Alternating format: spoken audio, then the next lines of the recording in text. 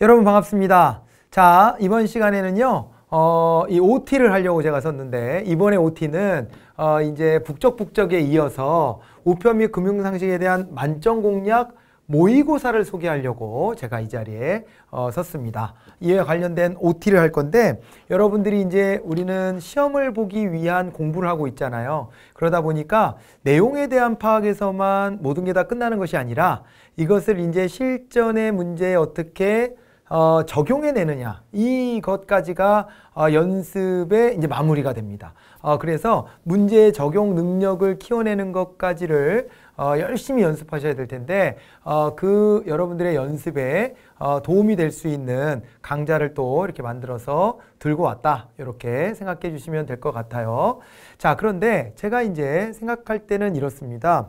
이게 있잖아요. 문제풀이라고 하는 것은 항상 있잖아요. 이런 이제 어떤 과정의 끝에 있는 것인데 어, 어떤 공부든지 간에 일단 이해가 필요해요. 이게 우금 같은 경우에는 이게 이제 이해 정도가 조금은 좀 약한 편이죠. 왜 그러냐면 암기 위주로 많이 돼 있기 때문에 이 과목의 특성상 이해를 해야 되는 부분은 좀 쪼그라들어요. 그리고 어, 설령 이해가 좀 덜 됐더라도 야 외워 외워 그냥 외우면 되지 나온 대로 그냥 어, 우정사업본부가 준 교환대로 외우면 돼 그냥 이러고 넘어가기도 해요.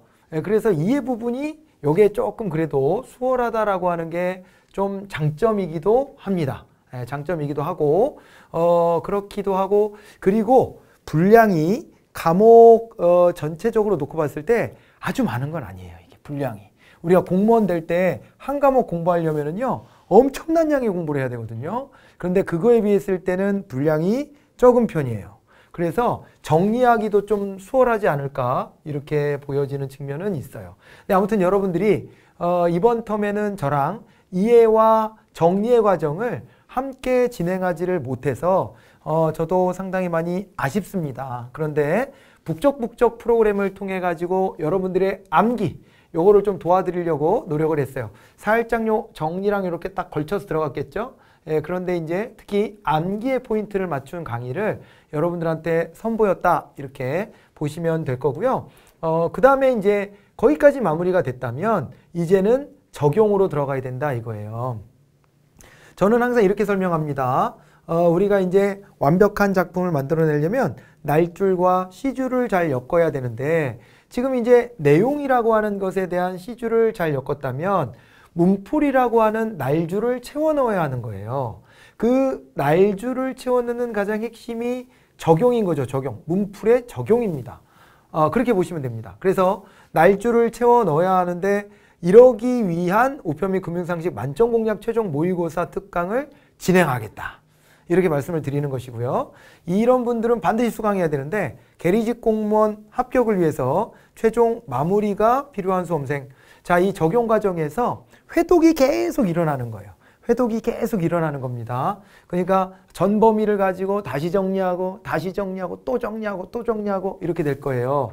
그래서 어 이렇게 이제 최종 마무리가 필요한 분들은 반드시 수강하셔야 되고 시험의 실전 연습이 필요한 분들 이런 분들 이게 또 그렇잖아요. 우리가 시뮬레이션을 해보는 것과 그러지 않은 것은 굉장한 차이가 납니다. 실전처럼 그런 환경을 만들어 놓고 어, 그 다음에 시간 재면서 풀어보고 그 다음에 다시 답 맞춰보고 이렇게 하고 어, 그 다음에 거기서 모르는 거 없이 만들고 이렇게 하는 과정이 매우 중요한데 어, 특히 그 연습해보는 거 시험에 실전 연습을 해보는 거 이거 매우 중요하고요. 합격 안정권에 도달하고 싶은 계리직 공무원 수험생이다 아, 이렇게 했는데 합격 안정권에 도달하기 어, 위해서는 어, 여기에서 절대 모르는 거 하나도 남겨놓으면 안 돼요. 모르는 거 하나도 남겨놓으면 안 되고 꼼꼼히 용어 하나까지 다 내 걸로 만들어야 돼요. 그리고 어, 아, 요 개념은 살짝 내가 놓쳤나 싶은 게 있으면 관련된 걸 교환을 찾아가지고 그 본문도 다 한번 읽어봐야 돼요.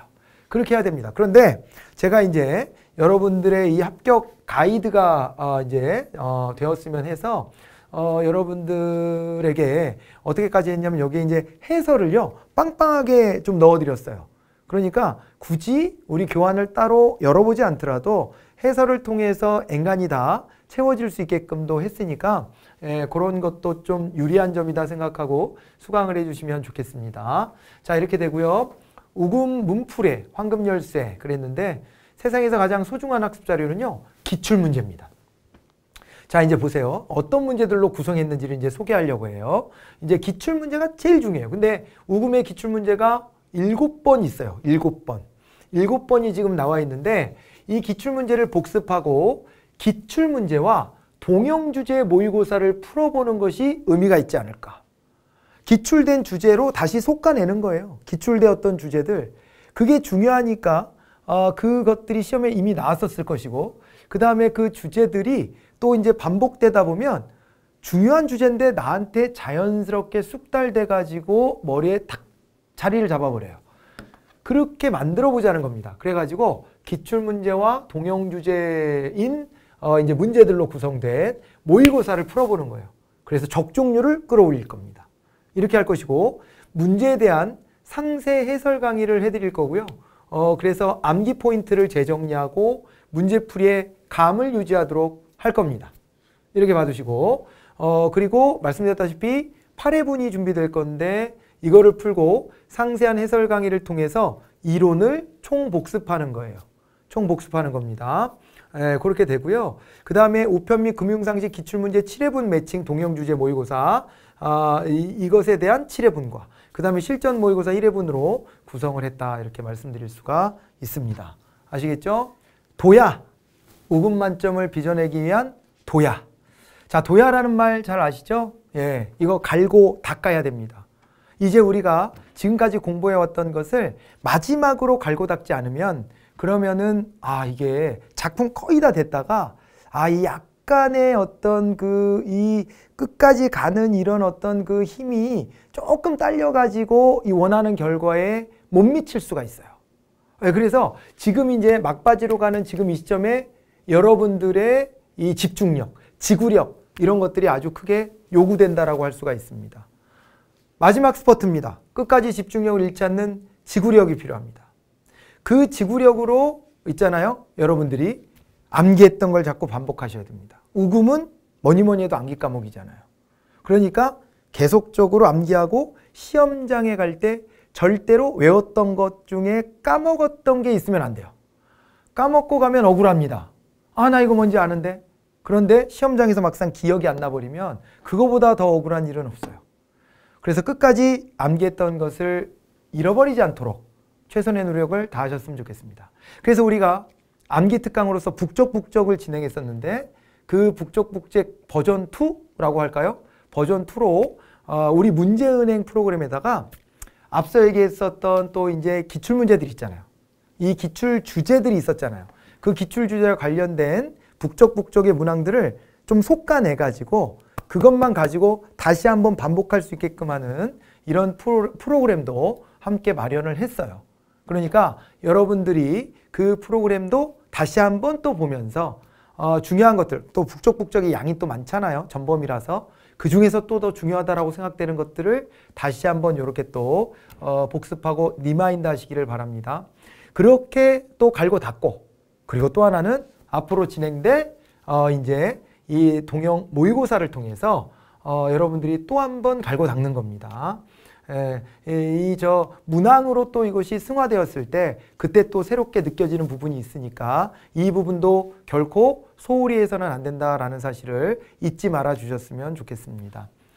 여러분 곁에서 시험장으로 향하는 마지막 발걸음을 함께 하도록 할 것입니다.